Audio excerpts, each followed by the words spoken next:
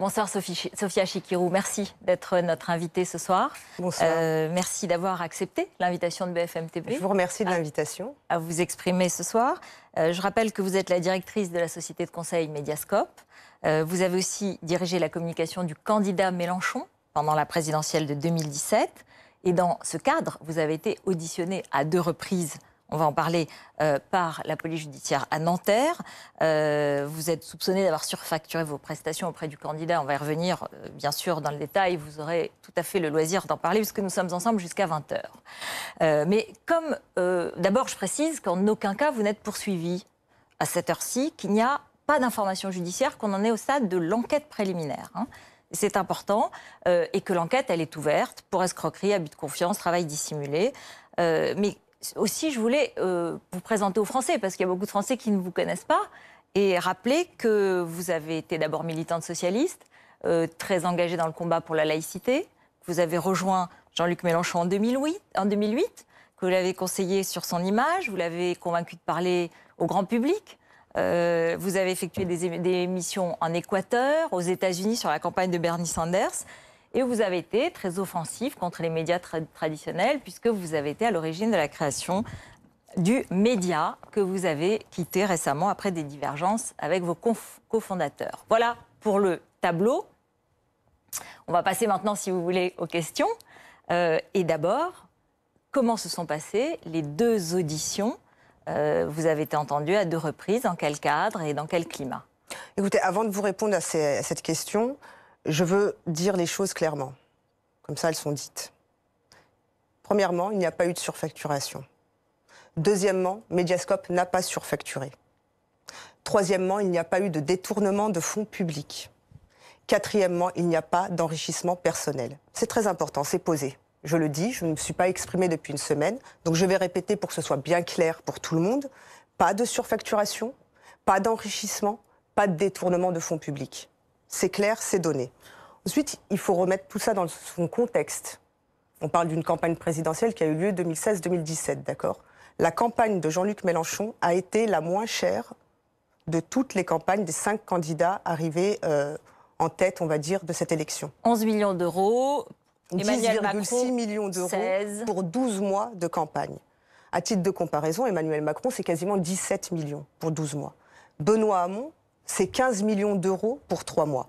C'est très important, parce que s'il y a surfacturation sur la campagne de Mélenchon, qu'est-ce qu'on pourra dire des autres? On, va y venir. on va y venir. Vous, me demandez comment je me comment j'ai passé les auditions. Oui, voilà, on va revenir. J'ai bien entendu votre préalable, il a été très noté, et vous allez certainement le répéter à plusieurs reprises. Ne vous inquiétez pas là-dessus.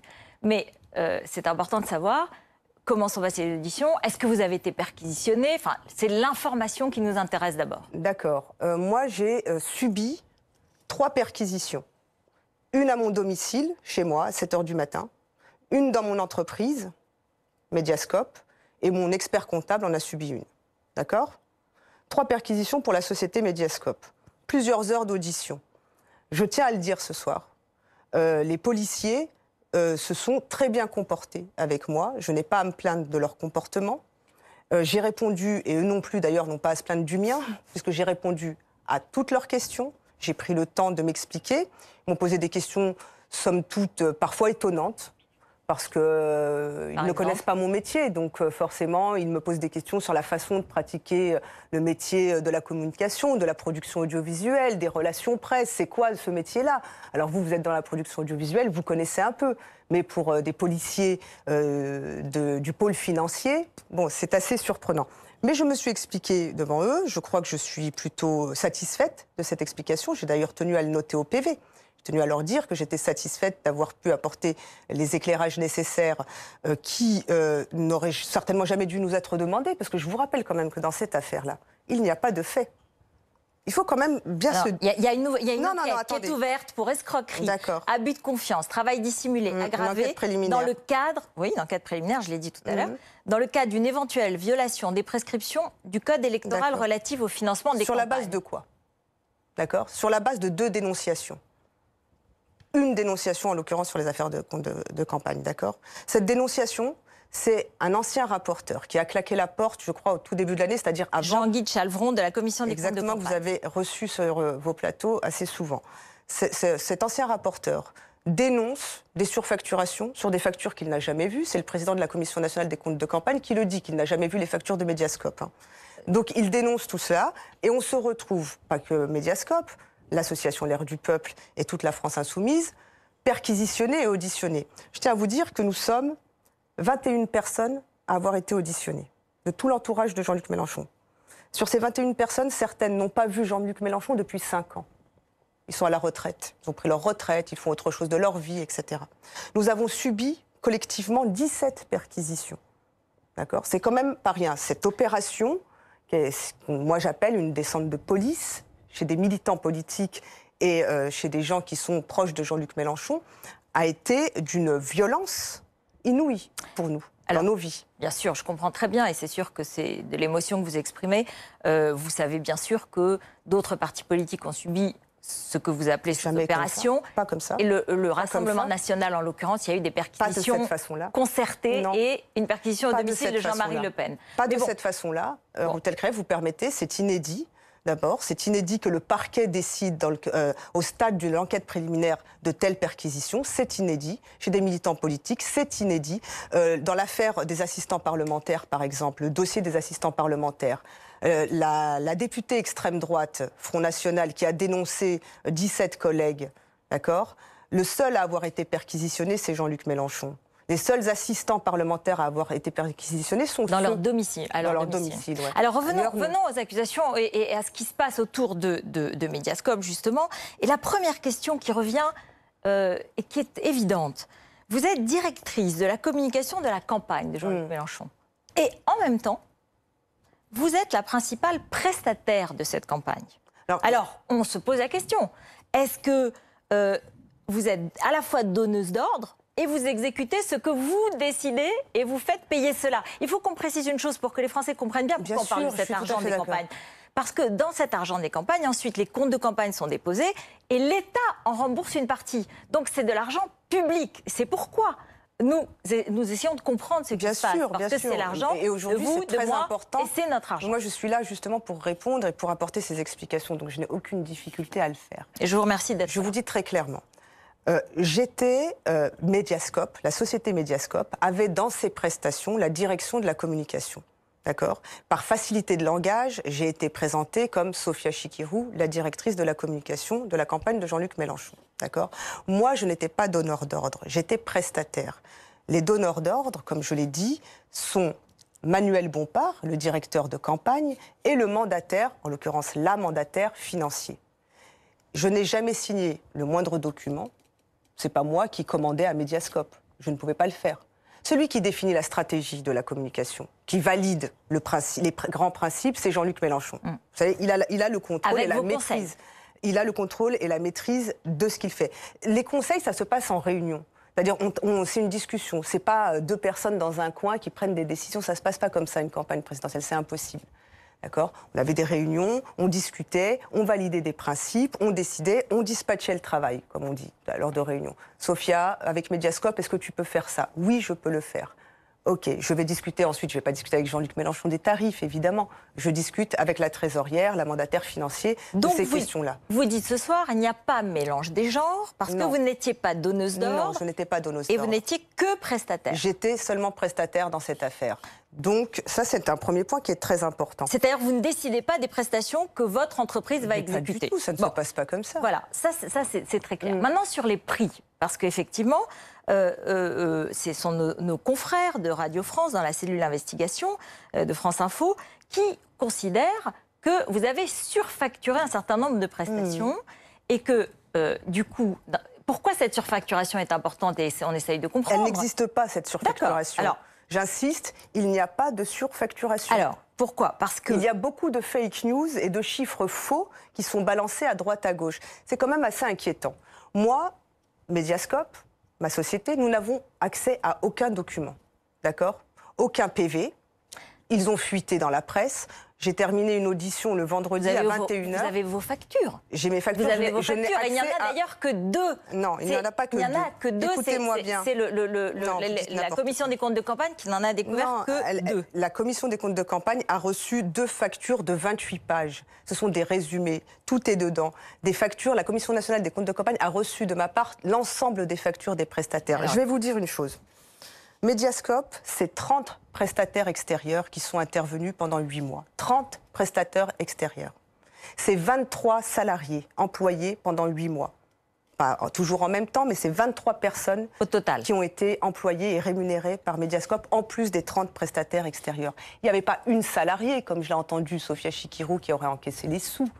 Ça ne s'est pas du tout passé de cette façon-là. Il faut quand même arrêter de répandre n'importe quoi. Dire il n'y avait que deux factures. Il y avait 28 pages de factures extrêmement détaillées, avec toutes les factures des prestataires derrière, pour plus de 450 000 euros de prestations achetées. Alors en fait, c'est simplement qu'en général, euh, j'ai posé des questions, on me dit qu'en général, on verse des factures régulièrement c'est ce qui s'est passé. Et, que là, il y a eu seulement deux factures, une euh, en, septembre, une en décembre et une en janvier pour les six mois qui suivent. Bon. Non, mais, attendez, je, je, vais y répondre. Non, j'y réponds puisque vous posez la question. D'accord? J'ai envoyé à l'association de financement de la campagne des factures quasiment tous les mois. D'accord? Et quand au cœur, au plus chaud de la campagne, c'est-à-dire entre février et avril, je n'avais plus le temps de faire ce travail-là, qui est un travail immense. D'accord? Euh, on s'est mis d'accord sur euh, le, montant et les modalités de versement, et c'est la mandataire financière qui contrôlait tout cela. Donc elle recevait régulièrement les factures. C'est elle qui validait, par exemple, le devis d'un prestataire pour euh, des goodies. C'est elle qui le valide. D'accord Donc ça s'est passé comme ça. Ces factures, au lieu de remettre à la Commission nationale des comptes de campagne toutes ces factures intermédiaires, nous lui avons remis 28 pages de factures extrêmement détaillées et précises là-dessus. Donc quand vous dites qu'il y a deux factures, je pense euh, c'est ce que dit la commission des comptes de campagne. Deux factures de 28 pages, extrêmement détaillées. Et nous avons remis à la commission, jusqu'au une facture, dont une de 24 pages. voilà, plus une autre de 6 pages, ça fait 30 pages. Alors, ce n'est pas deux de 28, hein on est Non, non, non, c'est 30 pages Une de 6 et une de 24. Mais nous, on a, on a enquêté cet après-midi et on a posé une question, c'était une, de une facture et une de 24 pages. Une facture de 6 pages et une facture de 24 pages. Alors, je, voudrais qu'on vienne. Euh, et, je, vais expliquer pourquoi après, mais euh, il y a deux exemples qui sont donnés par euh, nos, confrères de, France Info et qui. Ah oui, on va en parler des exemples de France Info. tendraient à, montrer que vous auriez surfacturé. Alors pourquoi? Non, non, c'est pas, pas surfacturé, mais en tout cas, la question qu'on peut se poser, c'est est-ce que le prix qui a été demandé correspond à une prestation réelle? C'est là la vraie question. Ah non, il n'y a aucun soupçon là-dessus. Bon, alors. attendez, n'inventez pas, n'inventez pas des chefs d'accusation, ça va quoi. Il n'y a aucun soupçon sur la réalité du travail de Mediascope. Bien sûr. Ni emploi fictif, ni soupçon sur la réalité du travail. Le travail a été effectué. Je vais vous dire une chose. Le journaliste de Radio France, ça fait dix mois qu'il enquête sur Mediascope. Ça fait dix mois qu'il me harcèle. De questions, de mails, de SMS, etc. Dix mois qu'il enquête sur Mediascope. Au bout de dix mois d'enquête. Il fait son travail. Au bout de dix mois d'enquête, payé par l'argent public évidemment, parce qu'il travaille à Radio France, lui. D'accord? Au bout de, il fait son travail. Au bout de dix mois d'enquête, il vous sort un reportage.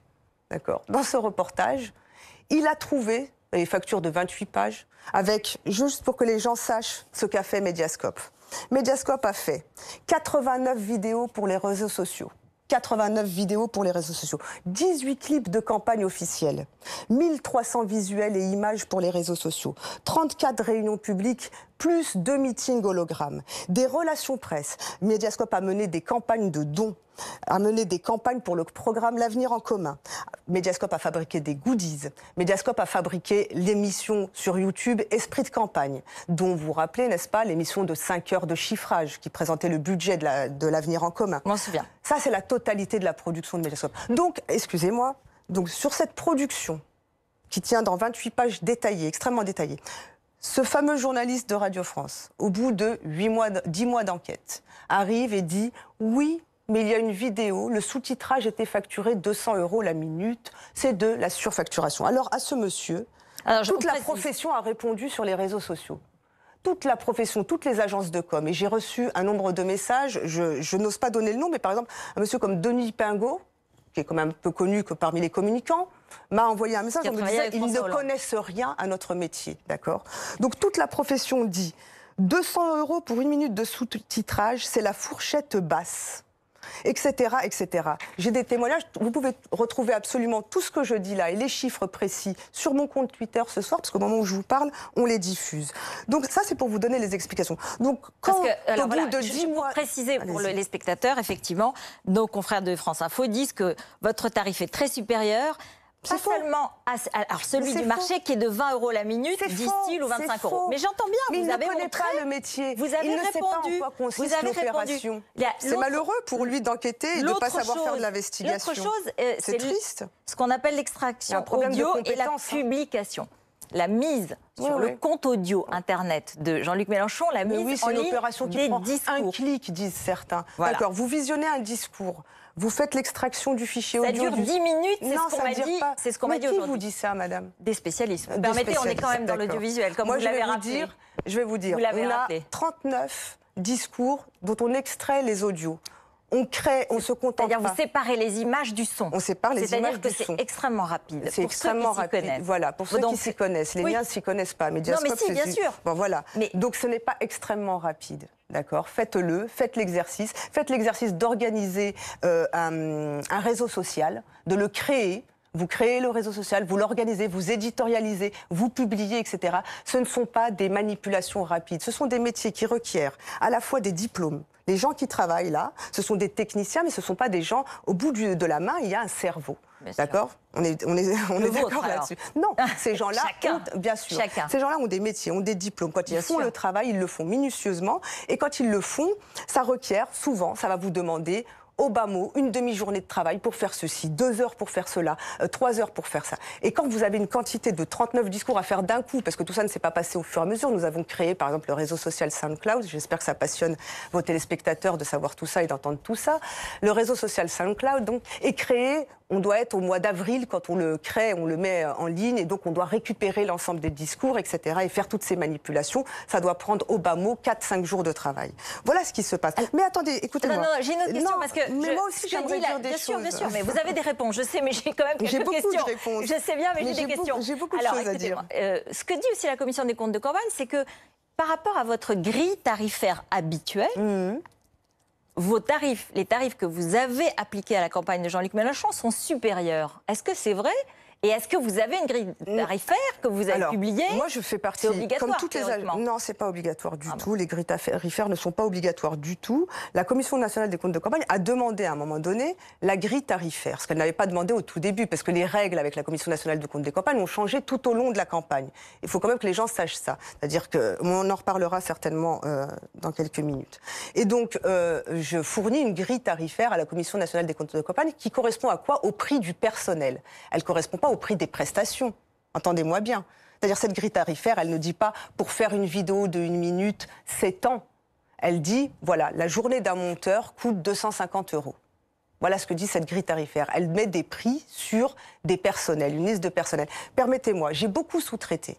Mediascope n'a pas tout fait, d'accord? Sur 900 000 euros hors taxe de, de chiffre d'affaires, plus de la moitié a été sous-traité à d'autres sociétés. Moi, je suis une agence de communication je corresponds à une, convention du travail qui est la convention Syndex, il me semble.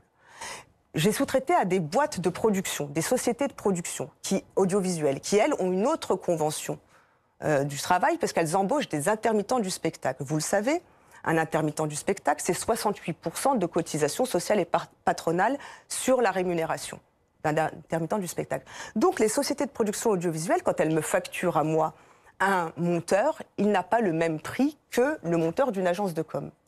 Et j'ai répercuté les prix de mes prestataires. Je l'ai expliqué à la commission. Elle a jugé qu'elle ne voulait pas en tenir compte. Je ne peux rien dire. Je n'ai pas de, je n'ai rien à dire. Et le candidat lui-même ne peut rien dire. Alors, si je veux faire une synthèse, parce que c'est important pour qu'on on, on suive oui, un peu ce Mais moi dit. aussi, j'aimerais faire la, une la synthèse question, après. Oui, bien sûr. La question est de savoir si le fait que vous je l'ai dit, hein, vous avez rencontré euh, Jean-Luc Mélenchon depuis 2008. Vous le connaissez très bien. Vous avez travaillé en confiance avec lui pendant 10 ans. Vous avez fait sa campagne. La question, c'est est-ce que le candidat Mélenchon est au courant? Là, Je pense que c'est ce que se posent les enquêteurs, puisqu'ils ouvrent, une, ouvrent une enquête pour savoir s'il y a une euh, violation du code électoral sur le financement. Si le candidat est au courant que ses services sont surfacturés, vous dites ils ne sont pas surfacturés, j'ai bien entendu. Mais qui favorise votre entreprise. Mais ça favorise pas mon entreprise. Bien... Mais arrêtez. Attendez, attendez, mais non, mais non, non, je vous, allez répondre. C'est faux. Vous, inventez, vous inventez des, des choses qui n'existent même pas dans le dossier. Vous employez des termes que les policiers n'utilisent pas dans le dossier. Est-ce que vous vous rendez compte de ça? Oui, je, je, vous pose non, mais est-ce que vous vous rendez compte de ça? C'est quand même assez grave. Non, non, mais à un moment donné, arrêtez d'inventer des choses. Il n'y a pas eu de favoritisme. De favoritisme en quoi? Comment Jean-Luc Mélenchon travaille? Comment tous les hommes politiques travaillent, même Emmanuel Macron? Ils travaillent avec des gens qu'ils connaissent, avec qui ils ont, et en qui ils ont confiance. Alors il y a les qualités professionnelles. Vous allez remettre en doute mes qualités professionnelles? Juste pour que les gens comprennent bien. Pas du tout, pas du tout. D'accord vous, vous, faites partie des communicantes qui sont très respectées dans le milieu. La campagne présidentielle et la communication a-t-elle été mauvaise? Non. Bon. Non, Alors c'est très important. Donc le professionnalisme n'est pas remis en question. Le talent n'est pas remis en question. Ça va, j'ai pas été trop mauvaise. J'ai pas eu que des idées. Euh, j'ai, je crois, eu quelques idées assez bonnes, assez géniales, assez remarquées quand même. Aujourd'hui, à l'international, moi, on m'appelle. D'accord? Donc, je pense pas. Ensuite, c'est une société, Mediascope, qui a recruté des gens pour faire le travail de la campagne présidentielle. J'ai bien compris, mais là, le doute, le doute juste, il est est-ce qu'il y a eu de l'argent qui a été mis de côté par le candidat Mélenchon On a qui fait la démonstration. vous aurait versé de l'argent et supérieur au tarif habituel et que cet argent euh, serait revenu à sa campagne Parce qu'il faut qu'on revienne à, l'essentiel, c'est-à-dire est-ce qu'il y a euh, eu de l'argent qui vous aurait été versé, mais qui serait revenu à sa campagne parce qu'en fait c'était supérieur au tarif et qu'en fait il aurait fait une forme de petite cagnotte. Vous voyez, c'est ça le soupçon de la commission des comptes. Enfin, c'est le soupçon de. La petite, il y a eu. Écoutez, on va, on va prendre un exemple. Moi, j'ai deux factures ici. D'accord J'ai deux factures de deux agences de communication. Celle-là, c'est Jésus et Gabriel. Ils ont travaillé pour le candidat Emmanuel Macron. Celle-là, c'est Small Bang. Ils ont travaillé pour le candidat Benoît Hamon. Donc, ces deux agences de communication, à peu près, Small Bang, c'est la même taille que Mediascope. Jésus et Gabriel, c'est dix fois plus en taille. D'accord Small Bang facture pour, par exemple, là, je vois 286 000 euros pour quelques motion design, quelques clips, etc. Moi, j'ai facturé pour 89 vidéos, 90 000 euros. 89 vidéos diffusées sur les réseaux sociaux, reportages, motion design, etc., etc. 90 000 euros, c'est-à-dire en moyenne 1000 euros par vidéo. Pour quelques vidéos, ici, on est à 286 000 euros. Écoutez-moi bien, non seulement il n'y a pas eu de surfacturation, aucun argent public n'a été détourné. Nous n'avons pas constitué de cagnotte, nous ne sommes pas de ce genre-là. Et j'ai un autre chiffre à vous donner. Attendez. Le plafond de remboursement, c'est 8 millions d'euros, mmh. d'accord? Combien la campagne de Jean-Luc Mélenchon a demandé en remboursement? 6,2 millions d'euros. Si nous avions voulu voler de l'argent à l'État, nous serions allés jusqu'à 8 millions d'euros. Nous ne l'avons pas fait. Nous ne sommes pas des gens comme ça. Merci beaucoup, Sophia Chikirou. Vous restez avec nous, bien sûr. On se retrouve dans un instant. Bonsoir Sophia Chikirou, on se retrouve pour la suite de cette émission. Rebonsoir. Comment expliquez-vous que tous les portraits de vous décrivent une femme sulfureuse, autoritaire, redoutée par ses équipes, qui manage par le stress? Écoutez, moi, je remarque une chose depuis cette semaine. Je remarque que je subis des attaques que je qualifierais de misogynes. Je vais vous dire pourquoi. Je vais vous faire un petit exercice. Je vais vous donner une liste de noms. Arfi, Edwy Plenel, Jean-Michel Apathy, Yves Calvi, Pascal Je vous arrête, je vous arrête. Sylvain Tronchet, Jean-Louis Burga. Je vous arrête parce que là, ce sont tous des hommes. Écoutez-moi bien, ce sont tous des hommes. Ce sont des journalistes. Je n'ai pas entendu, ce sont des hommes journalistes, si vous voulez. Je n'ai pas entendu une seule femme journaliste tenir les propos que ces hommes ont tenus à mon encontre. Pas une seule femme ne m'a qualifiée avec les termes que vous répétez à l'instant. Là, en l'occurrence, pardonnez-moi. femme ne, me, ne parle de moi. Je vais vous dire pourquoi les femmes ne parlent pas de cette façon-là. Je vais vous le dire. Parce que les femmes, elles savent ce que c'est. Elles savent ce que c'est quand vous êtes une femme qui a, disons, euh, qui dirige, qui commande des équipes. Quand vous êtes une femme qui mène les choses. Elles savent tous les coups bas que vous prenez, tous les coups en dessous de la ceinture que vous prenez. Les femmes, elles savent ce que c'est. Donc, elles, elles ne m'attaquent pas de cette façon-là. Par contre, ces hommes-là, que je viens de citer, eux, ils le font. Sans vergogne, sans limite, sans retenue. Sophia Chikirou, là, euh, j'entends comme femme ce que vous dites, c'est-à-dire que concrètement, vous, le savez, vous, on ne voulez pas savez. que votre travail soit mis euh, sur le compte d'autre chose que votre compétence. Mais comme toutes et les ça, femmes, et c'est ce qui nous arrive. Et je suis d'accord. Mais, Voilà. mais pardonnez-moi, vous avez cité des noms de confrères journalistes qui ont Oui, fait oui, leur travail de Non, recherche et bon, d'enquête, et je ne pense pas que le critère Mais bien femme sûr. intervienne. Néanmoins.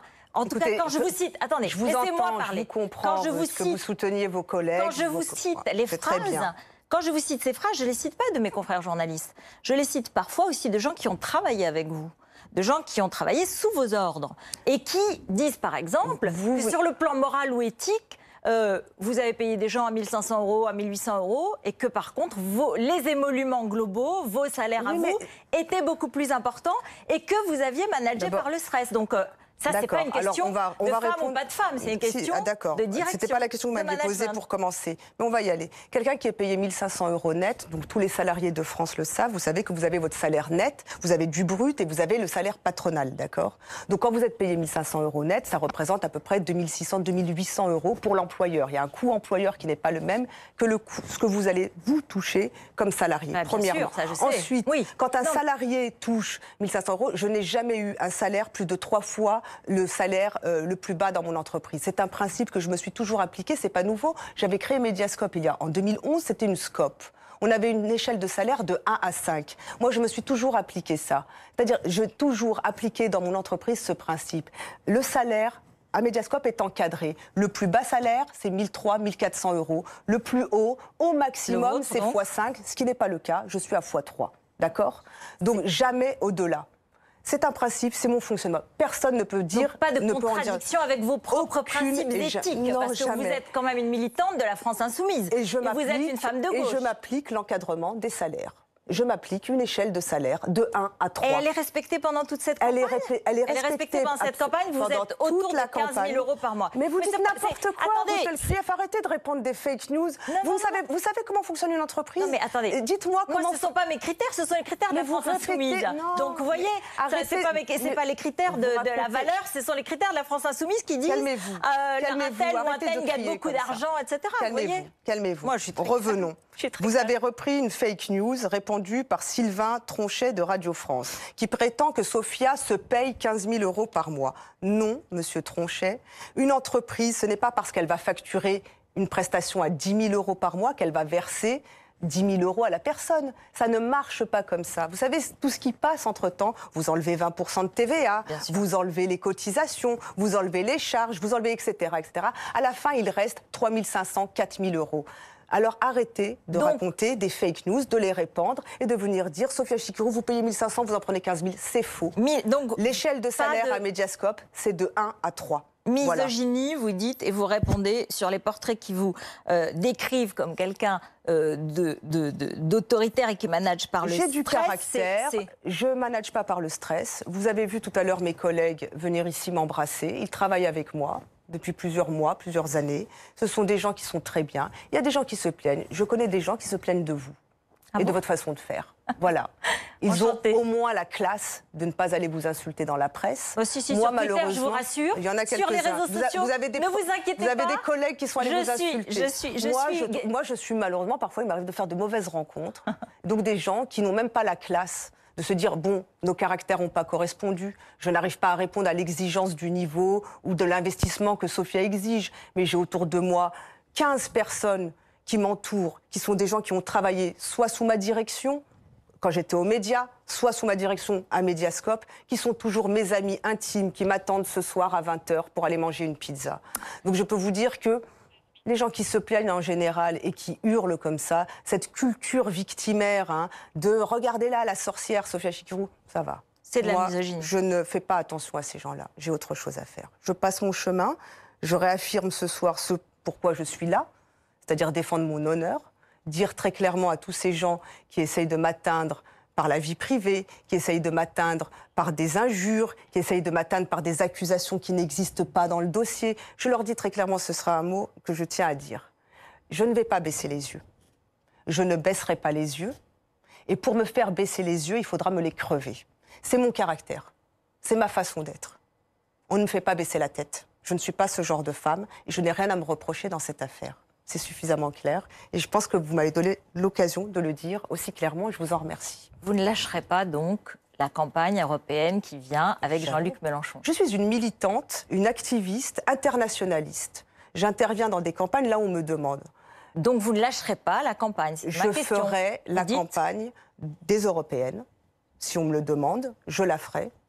Euh, et on m'a demandé de m'occuper de la campagne Maintenant le peuple, de la coordination au niveau européen. J'étais, euh, il y a dix jours donc, à Madrid, euh, à l'université d'automne de Podemos. Parce que, parce que est-ce que, maintenant la question elle porte bien sûr sur Jean-Luc Mélenchon, est-ce que lorsque Jean-Luc Mélenchon réagit avec autant de violence et autant de virulence contre les perquisitions, on va revoir un extrait assez rapide parce que on, va l'écouter. je vais vous poser ma question et elle, elle enclenche maintenant sur les élections et sur la politique. Allez, enfoncez-moi cette porte. On va voir si on va m'empêcher d'entrer dans mon local. On n'est pas des voyous, on n'est pas des bandits. Au nom de quoi vous m'empêchez d'entrer dans mon local? Au nom de quoi? Qui vous a donné cet ordre? Je suis un parlementaire. Ma personne n'est La République, c'est moi C'est moi qui suis parlementaire. Poussez-vous de là, ouvrez-moi cette porte. Elle craque, elle craque. Allez on va voir qui va avoir le dernier mot ici. Parce qu'il y a un, un policier qui prend plus Allez, vas-y, essaye de me pousser pour voir. Ne touchez pas, vous ne touchez pas. Allez, touche-moi pour voir. Alors vous, la bonne communicante, la bonne conseillère, celle qui a beaucoup de talent, vous pouvez, pas, vous pouvez nous dire si là, Jean-Luc Mélenchon n'a pas... Non, mais... Vous êtes ironique, Non, non, non, mais vous savez que je, vous trouve bonne communicante, mais, mais, mais ça m'a fait sourire de vous entendre parler de votre talent, c'est normal. Euh, mais bah, quand on non, euh, on va pas y revenir. Mais... Non, non, on va pas y revenir. Je vous demande si vous pensez que cette séquence-là, elle est bonne pour Jean-Luc Mélenchon. Si vous pensez qu'il est crédible comme un candidat à la présidentielle lorsqu'il brutalise un policier et qu'il s'insurge. C'est beaucoup, c'est beaucoup, c'est grand, c'est des grands mots. Écoutez, ah je vais vous dire, ce matin-là, quand nous avons été perquisitionnés tous, là, les 17 perquisitions, les 15 personnes perquisitionnées, quand nous avons été perquisitionnés, moi j'ai réagi en état de choc. J'étais en état de sidération de voir la police entrer armée avec des gilets pare-balles chez moi. Vous pouvez, euh, peut-être qu'ils ne témoigneront pas, les policiers, mais moi, j'étais tellement sidérée que je me suis endormie. Pendant la perquisition, je m'endormais sur la table, j'étais... Euh, mais euh, c'était incroyable. Je n'arrivais pas à, réaliser ce qui se passait. De son côté, Jean-Luc Mélenchon a réagi. Moi, j'ai trouvé, après coup, parce que j'ai su tout ça plus tard dans l'après-midi, vers 15h30, je me suis informée de ce qui s'était passé. J'avais pas de téléphone, on me l'avait retiré, etc. Dans l'après-midi, j'apprends ce qui s'est passé le matin. Et je me dis, mais quel coup de génie. Quel coup de génie d'avoir immédiatement pris la main sur ce qui se passait et communiqué le premier. On se serait pris, mais vraiment, la totale pour parler un peu euh, s'il n'avait pas fait ce qu'il a fait. Ensuite, juste ça c'est quand il fait son message Facebook. Mais quand ensuite il va et qu'il parle ainsi au, policier qui dit je suis la République, ma personne est sacrée. Oui, c'est une définition des parlementaires. Oui, mais est-ce que est-ce que n'apparaît pas comme supérieur aux citoyens mm. lambda? Est-ce que c'est pas contradictoire avec la doctrine de la France insoumise? Alors je vais vous dire très clairement, nous sommes 15 personnes à avoir été choquées ce matin-là. Celui qui nous a représentés et qui a représenté notre colère, c'est Jean-Luc Mélenchon. Celui qui a pu l'exprimer par sa situation de leader de l'opposition, parce qu'il est député, président d'un groupe à l'Assemblée nationale, celui qui a pu exprimer cette colère sans risquer la garde à vue, les menottes, etc., c'est Jean-Luc Mélenchon. Vous connaissez que s'il n'avait pas été lui, ça aurait été quelqu'un d'autre, il aurait eu la garde à vue et, les menottes. Il a pu nous représenter dignement, moi je trouve, j'étais contente, c'était ma colère, j'étais en colère, je suis en rage depuis des jours, là je, je suis maintenant détendue, je vous l'ai dit tout à l'heure, je suis contente, je vais enfin pouvoir me défendre, je vais enfin pouvoir m'exprimer. D'accord, et être dans l'action. Mais euh, pour nous, les personnes qui ont été perquisitionnées dans cette affaire, euh, je vous ai dit un retraité, une mère de famille, etc. Mais là, je parle du regard qu'ont les Français. Mais le votre travail de communicante, vous pouvez le juger. D'ailleurs, vous, avez vu, il y a un sondage, 76% OpinionWay, des Français choqués. J'en ai vu plein des sondages. 51% des électeurs du premier tour. J'ai vu d'autres sondages qui disent que 56% euh, des Français approuvent Jean-Luc Mélenchon. Donc je ne sais pas, et comme je vous avoue que j'ai pas encore eu le temps d'étudier les sondages, je le ferai dans la semaine. je vous répondrai là-dessus. Un petit Mais sujet quand même. il, nous a représenté, il a représenté la colère que moi j'ai ressentie. Jean-Luc Mélenchon, pendant la campagne présidentielle que vous avez suivie au plus près, il a euh, était très, très ironique sur François Fillon et Marine Le Pen, qui euh, n'avaient pas répondu aux convocations de la justice. Lui, ou qui- fait ou Attendez, attendez, attendez. Et qui disent, euh, euh, lui, il a dit et répété, je n'ai pas d'autre choix que de faire confiance à la justice. Euh, il parle, de, il parle de, de François Fillon, celui-ci qui ne veut répondre de rien, qui appelle à l'émeute contre la justice, et l'autre, Madame Le Pen, qui refuse les convocations et montre du doigt les fonctionnaires de police qui veulent l'intercepter. Ils ont bonne mine. Donc il y a un, un petit changement, vous voyez Non, pas du Il y a tout. un petit changement. Jean-Luc Mélenchon s'est rendu à- aux auditions. Il s'est rendu à son audition. Non, mais là, là c'est l'attitude que je Audition libre, d'accord.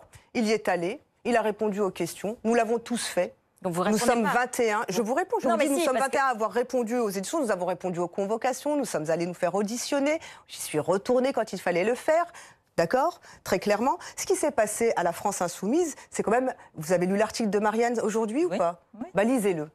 Voilà, ce qui s'est passé à la France Insoumise, à tous les gens. Lisez l'article de Marianne paru aujourd'hui sur la perquisition à la France Insoumise et voyez qu'il y a de graves problèmes dans la façon dont les policiers et les seront- vous procureurs. espérez qu'elles seront annulées. Moi, j'espère rien du tout. Je ne suis pas avocate. Il y a des avocats qui travaillent là-dessus. C'est leur job. Autre C'est pas le sujet. mien.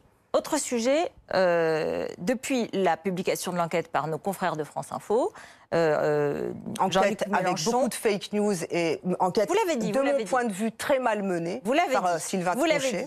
Vous ne l'avez s'est même pas donné la peine d'aller consulter les agences de communication parisiennes pour connaître les prix qui étaient pratiqués Vous et en quoi dit. consiste le travail. dit. Je voudrais qu'on on écoute quand même ce qu'a dit Jean-Luc Mélenchon ensuite. Je vous demande de relayer nos arguments, de montrer pourquoi France Info ment et de discréditer les journalistes qui s'y trouvent. Relayer, relayer sans arrêt. Pourrissez-les partout où vous pouvez, parce qu'il faut qu'on obtienne au moins un résultat. Il faut qu'à la fin, il y ait aussi des milliers de gens qui se disent les journalistes de France Info sont des menteurs, sont des tricheurs, et il y a autour un système qui a même plus le recul professionnel de se dire mais qu'est-ce qu'on est en train de raconter? C'est pas un appel à la haine, à la violence, ça? Non, c'est pas un appel à la haine, à la violence. On a fait face à euh, un lynchage médiatique. On a subi ça pendant près d'une semaine maintenant. Ça a été d'une violence inouïe, d'accord, ce qu'on a subi par les médias. Mais ça va. On, on arrive la au bout. parole pendant une heure ce soir Voilà. sur BFM On hein. arrivé au bout, d'accord? Maintenant, on redescend, tout le monde se calme. Il y a eu beaucoup de gens de la France. Insoumise sur tous nos plateaux pendant des- la semaine. hein. Aujourd'hui, on se calme. C'est pas BFM qui est en cause, sinon je ne serais pas là. Je n'ai pas accepté d'aller à Radio France, d'accord? Je suis à BFM. Radio France, ils n'ont pas fait une enquête correcte. Ils ont répandu des fake news. Ils nous ont mal fait leur travail, je le répète. Pas- si je une suis ce soir chez vous, c'est parce Est-ce que, que c'est une justification pour appeler à pourrir les gens, à les traiter d'abrutis, de menteurs Oh, les insoumis et- ont été traités d'abrutis mais- par un journaliste. Si, si, si. Non, non, mais- 19,6% des- de l'électorat a, été- a été traité d'abruti par un journaliste. Je vous ai pas vu vous offusquer que de, cette façon-là. Écoutez, Ruth, il faut arrêter Ruth Alkrieff, l'offus- Ruth Ruth Alkrieff, pardon. Je ne vous ai, euh, il faut arrêter cette euh, indignation qui a une, une petite connotation comme ça hypocrite. Ah bon? Oui, je vais vous dire Non, mais là- pourquoi. là- là- là- je vais vous là, dire c'est pourquoi. hypocrite Que de la corporation, contre- que la corporation parle à la menace sur la liberté d'expression. Vous avez un collègue à vous, saou- saoudien, qui a été enlevé, séquestré, torturé et découpé, Bien sûr. tué euh, dans une Il y a ambassade. beaucoup, hélas, de journalistes qui meurent tous les jours D'accord, sur mais les attendez, écoutez-moi. Est-ce que j'ai entendu un seul journaliste français demander à Emmanuel Macron la rupture des relations diplomatiques avec cette dictature qu'est l'Arabie Saoudite Vous- Pourquoi vous ne le faites pas, pas, vous Non, je réponds. pas, vous allez avez une indignation à Non, géométrie non. Variable. Moi, je vous l'ai dit, il est temps de calmer les choses. Jean-Luc Mélenchon l'a dit, je crois hier soir. Il a dit tout le monde se calme, tout le monde se calme. Et lui, le premier? Et vous les premiers? Moi, j'ai envie de dire que la presse se calme, qu'elle arrête de répandre des fake news, comme l'a fait Sylvain Tronchet en donnant des chiffres Vous faux. donnez des noms et vous continuez. Mais Vous je donne des noms, le mien est Attendez, exposé depuis une semaine dans toute mais- la presse. Mais, mais attendez, au point vous que ça un- devient gênant. Et moi, Mais non, et- et non, quand non, on donne vous- le nom des journalistes, assumez que les journalistes, désignez- vous Sylvain Tronchet de Radio France. Syl- bah oui, mais euh, moi non. Moi, Et- Sophia Chikirou, mon, mon nom partout, c'est pas euh, c'est pas le désigné avez- à la J'ai été, ça fait une semaine. répondu. Je réponds aujourd'hui, ce soir. je- vous me faites euh, l'amabilité de m'inviter pendant 40 minutes après avoir subi une semaine de bashing, d'accord? Une semaine. Donc je vous remercie, Routel Krief, de m'avoir invité, mais ne- n'exagérez pas non plus les 40 minutes qu'on me donne par rapport à la semaine Non, mais de bashing ça que j'ai non, vécu. je vous le dis, Enfin, encore il faut fois, il y a eu remettre les temps, choses un non, peu. il y a eu tout le temps des gens de la France. Insoumise sur nos plateaux, donc je n'accepte pas non plus ce, On a toujours Mais donné la pas parole à c'est tout pas le monde. BFM. Le problème, je ne serais pas là. je ne serais pas là. Si, BFM était en cause, je ne serais pas là. euh, on, fait notre travail de la même façon pas- que tous les journalistes, pas- Bon, Madame Alors moi, je vais dire que toutes les agences de com travaillent comme moi. C'est faux. C'est faux parce que je vous l'ai dit, les agences Non, non, de com qui ont tous les travaillé pour Benoît Hamon facturent beaucoup. principes, et tous les Et journalistes les, communicants ont des- aussi. oh, non, non, Il n'y en a pas on- tous. voilà. D'ailleurs, il y a des gens bons et mauvais partout, Mais vous chez les dit. journalistes et chez les communicants et chez les politiques. Vous- les journalistes que je connais bien Je voudrais qu'on regarde ensemble tous cette dernière image ensemble. ne sont pas tous Regardez. saints. Regardez cette image. Je regarde. Ça démarre. 7 heures de perquisition, c'est mon chef de cabinet. Vous avez tous mes rendez-vous depuis deux ans. Vous avez aspiré tous les fichiers du mouvement La France Insoumise et tous ceux du parti de gauche sans que nous ayons signé un seul procès verbal. Collègues, êtes-vous devenus déraisonnables Voyez-vous ce que ça veut dire? Vous sentez-vous solidaire de procéder pareil? Vous en êtes à hurler maintenant, mais vous ne vous rendez plus compte. Ce n'est plus de la justice, ce n'est plus de la police. Ma La- question, les motifs infamants pour lesquels vous prétendez La nous parole est poursuivre. à monsieur le Premier monsieur le ministre. nouveau Euh, Comment Qu'est-ce que vous avez ressenti en voyant Marine Le Pen applaudir? Je ne l'ai pas vu applaudir, mais que le Front National applaudisse, c'est ça, vous voulez dire les députés Front National? J'étais en train de vous dire, avant que l'antenne reprenne, ne jouez pas à la- la- l'amalgame Front National et FI. Ce n'est pas le sujet, Ils vous soutiennent beaucoup. Non, euh, Bruno ah, le répète il- sur tous les tons. Hamon nous soutient, Poutou nous soutient, Besancenot nous soutient, Pierre Laurent nous Euh, soutient, beaucoup de- Christo- euh, Christian Non, non, non. Jacob nous soutient. J'ai une amie députée LR qui Sur a le respect de la liberté de la presse j'ai et une sur les policiers et les juges, euh, LR je suis qui m'a soutenue et je tiens à la rem- remercier ce soir. C'est Virginie Duby-Muller qui m'a soutenue publiquement. Nous sommes soutenus par des gens qui font de la politique, qui sont dans l'opposition. Nous ne sommes pas soutenus évidemment par les gens d'En Marche, mais tous les gens de l'opposition, quel que soit leur bord, nous ont soutenus dans cette euh, épreuve, on va dire, parce qu'ils savent quel est le danger d'une telle perquisition. Parce que ces gens-là, ils savent ce que c'est que de se faire aspirer des fichiers, se faire aspirer des fichiers de Donc vous militants, assumez, de vous assumez, vous dites pas d'amalgame, Je- mais vous assumez. Et j'assume le soutien de Christian Jacob, et j'assume le soutien de Philippe Poutou et de Besançon. Dernière question, dernière question, Sophia Chikirou. J'ai parlé de votre proximité avec le candidat Mélenchon. Vous avez parlé de, de vous avez euh, euh, rejeté les accusations d'enrichissement personnel. Je le Euh, dis très clairement, Vous oui. avez dit que votre vie privée a été attaquée. Euh, Oui, par des, gens, par des hommes misogynes, dans des termes scandaleux, Mais est-ce que, est-ce qui mériteraient qu'on leur réponde. Est-ce que, eh, vous lui avez répondu euh, longuement, mais est-ce que vous ne comprenez pas qu'à un moment donné, lorsqu'il y a une affaire de relations financières, votre proximité avec Jean-Luc Mélenchon mérite d'être interrogée ou en tout cas de voir s'il n'y a pas un lien qui permettrait au candidat Mélenchon de récupérer de l'argent public et, que- et Non, de faire en sorte non, que ce, ce non, lien madame, personnel euh, euh, permette de, de- Non, cela? en aucun cas. En aucun cas, ce n'est mêlé de cette façon-là. Les questions à se poser, si on veut se poser les questions honnêtement, c'est est-ce que cette entreprise Mediascope a fait le travail? Oui, elle a fait le travail. Comment l'a-t-elle facturé? À tel prix? Pour le- l'estimer, on le compare avec par exemple, les autres agences de communication des candidats. Ça n'a pas l'air de vous interpeller, vous, que Mais Benoît si. Hamon soit 10, 15 fois plus cher que moi. Par exemple, la Small Bank. Ça n'a pas l'air de vous interpeller. Vous dites pas, tiens, pour faire la même chose, pourquoi l'une coûte tant et l'autre coûte tant? Vous dites, ce sont des Vous bénévoles. avez l'impression de ne pas, pas être contesté en interne. Vous n'avez pas l'impression que tout ça a suscité aussi en interne C'est l'inverse qui s'est produit. C'est extraordinaire ce qui s'est produit. D'ailleurs, je tiens à le dire ce soir et je leur passe le message à tous les camarades insoumis, à tous les militants, à tous les dirigeants de la France insoumise. Je vous remercie du fond du cœur pour tous vos messages. J'ai pas le temps d'y répondre un par un, mais Merci. je suis très touchée, voilà, par leur Merci, soutien. merci, merci. C'est le 20h politique avec Alain Marchal tout de suite. Merci.